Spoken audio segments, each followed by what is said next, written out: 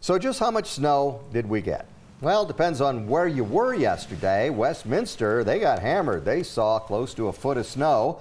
Parts of Denver had about seven and a half inches. I don't think we had that much at our house. Golden and Lakewood both had four inches. Out at DIA, they only recorded an inch. So, a lot of people got much more than expected, and they let us know about it. Boy, is this true. So, Catherine Winter said, didn't you guys say one to two inches? To what Sean Nalen responded, yes, they did. And shockingly, South Denver and North Denver at almost a foot. Not shocking, it's usually double what they say or nothing. Ouch. Okay, okay, okay. Let's bring in Marty. hey, let's do. Marty, I know that you got a lot of calls and emails yesterday, Yeah. but I mean, it's hard to predict all of it.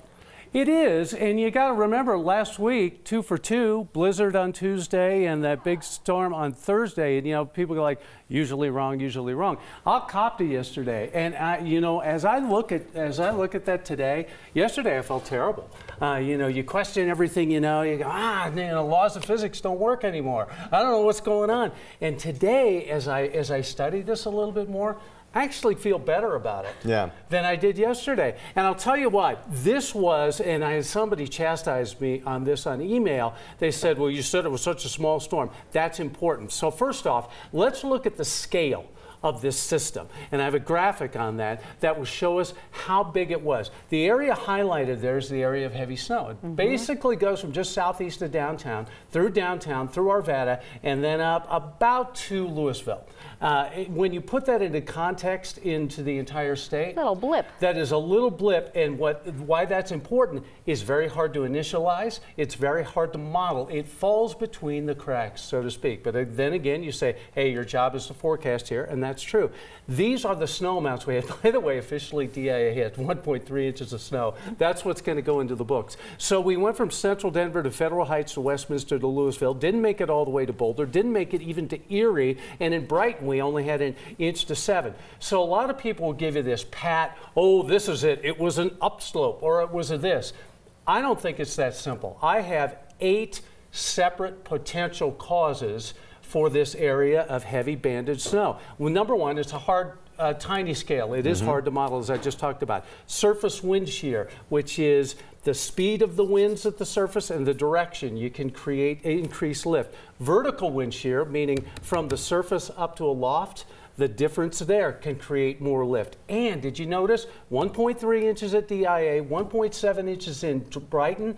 That acts as an additional cold front, and that creates more hmm. lift right adjacent to it. That's why you have that, that hard line there with all that. Oh, yeah, I'm not done yet. Four more. There's another one called CSI, and it's not the show. It's called convective symmetric instability. And what that is, that's just a fancy way of saying a snowstorm that acts like a thunderstorm hmm. because it was so warm on Sunday, we had vertical development and you get heavier snow out of situations like that. Colder air aloft than forecast. It could only have been maybe two or three degrees colder than we thought and created a snow to water ratio of 30 to 1, which high. means, yeah, for every one inch of water, we had 30 inches of snow Wow. i- as a ratio in that area. And then the, the last one on my list was an upper air jet max which is just that faster area of the jet stream and because it's moving faster it creates a little a little uh,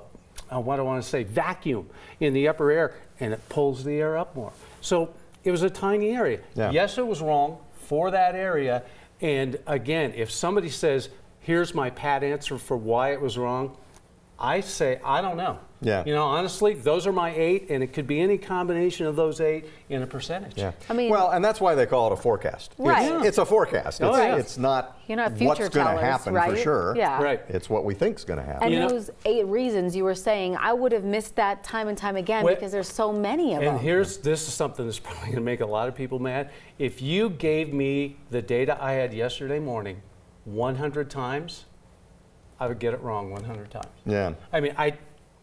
Yeah. You But know, let's was- remember I- I- last I week, didn't- y'all. Yeah, let's go back. And let's, no, no, seriously. Sometimes you get the Rubik's cube and you go, no, I can't get all the colors on one side, and that's just the way Yeah. it is. All right. Okay. Well, thanks. Yes. You did get the start of the storm and the end of the storm perfect. That's Yes. why. Right that's on why, time. That's why the amount of snow was so weird. It was Yeah. that rate of snow and the reasons for the rate of snow. That's the big Yeah. key. Yep. All right. Well, thank you much for that. It's Sure. 6:15 right now. We'll take a break and be right back.